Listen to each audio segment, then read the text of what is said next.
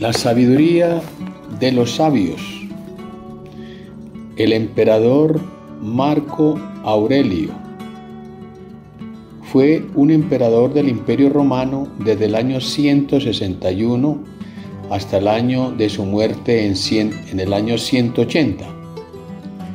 Nació el 26 de abril del año 121 después de Cristo en Roma, Italia, y murió el 17 de marzo del año 180 después de, después de Cristo.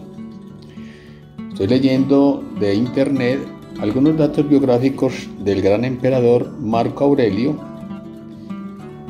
y dice, influenciado por Séneca, Epicteto, Sócrates, Zenón de Sitio, Epicuro, Plutarco, Quinto Junio, Rústico, Heráclito, Zenón de Elea, Marco Cornelio que de Queronea.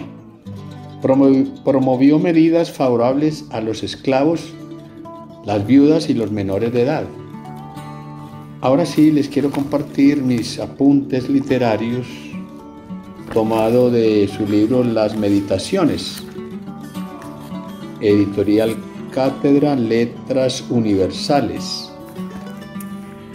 Eh, me llamó la atención tomar algunos, algunos datos y sobre todo las enseñanzas y la importancia que tuvieron en él estos maestros y muy especialmente eh, sus padres. Entonces voy a, a leer, tomado de su libro Meditaciones, La sabiduría del emperador Marco Aurelio. Mi madre Domicia Lucila me enseñó una virtud esencial en la vida, en la vida de un romano, que es la práctica y devoción a los dioses y a vivir en austeridad, evitando los comportamientos inmorales, la calumnia y las aficiones circenses. En su formación académica recuerda Marco Aurelio a sus maestros Frontón, que le enseñó la comedia, la música, la geometría, la gramática, la oratoria, el griego y el latín, y a su maestro Euforión, que le enseñó la literatura, la escritura y autores importantes como Homero, al cual los estoicos convirtieron en el más sabio de los poetas.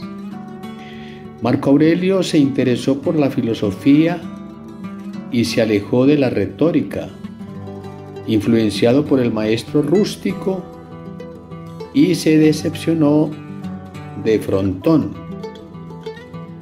Fue Diogneto, maestro de diversas disciplinas, que lo introdujo en el saber filosófico, en el dibujo y en el deporte. Y en su libro número uno, de este gran libro de Marco Aurelio, él nos habla de, las enseñanzas de sus abuelos, de sus padres, de, su, de la madre.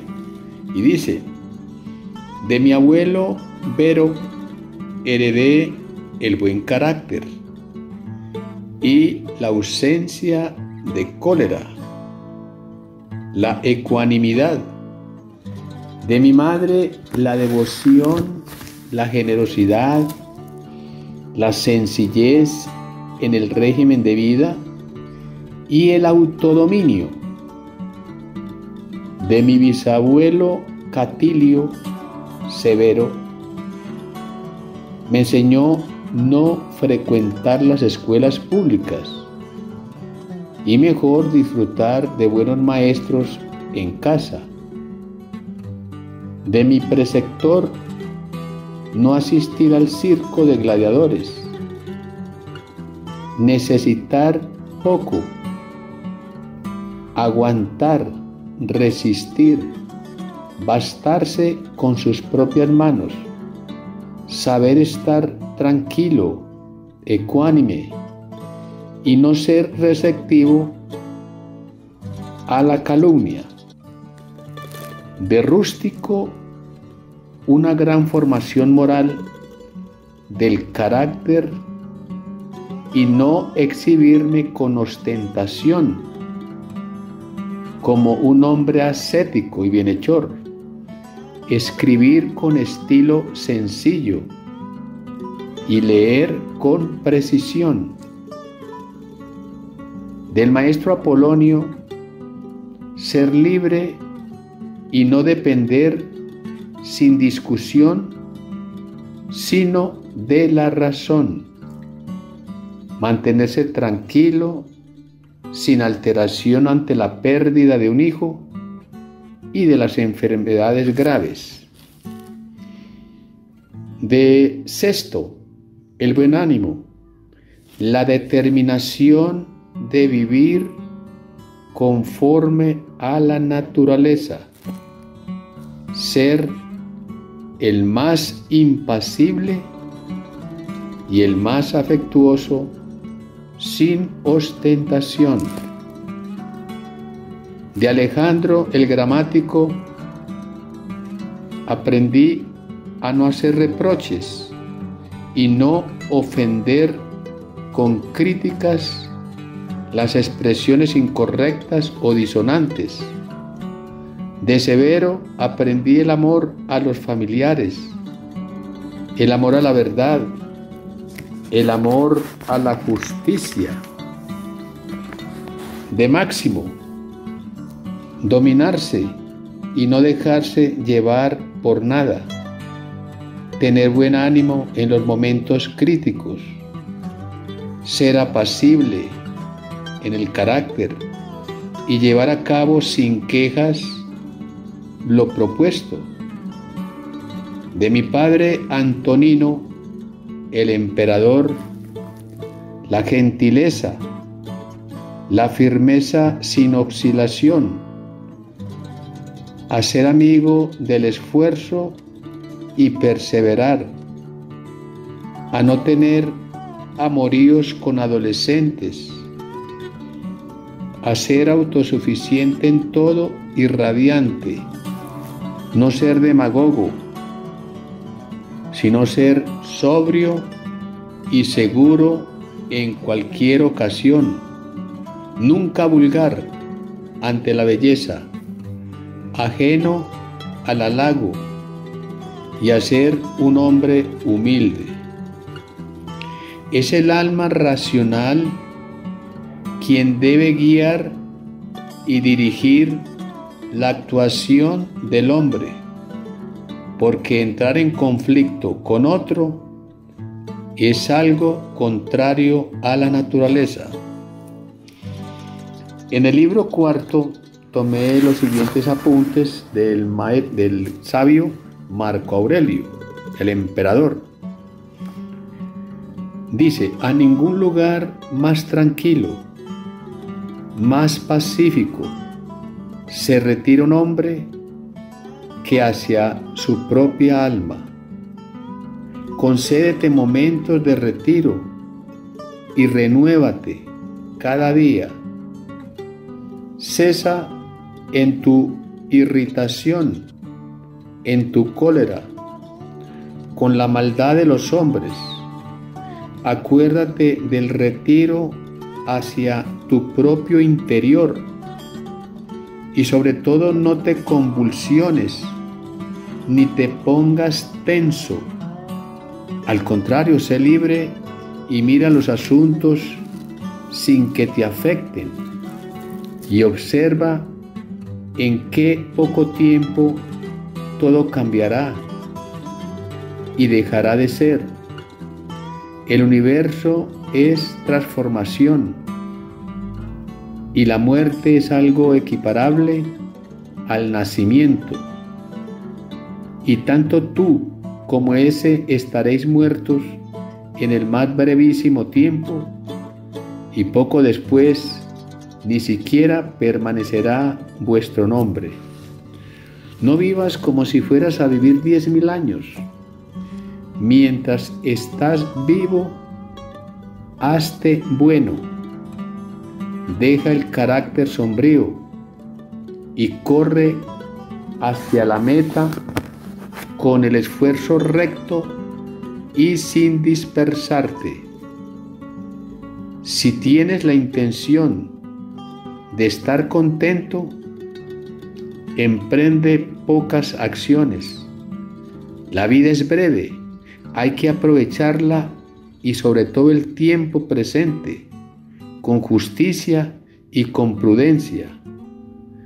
Mantente sobrio en la relajación.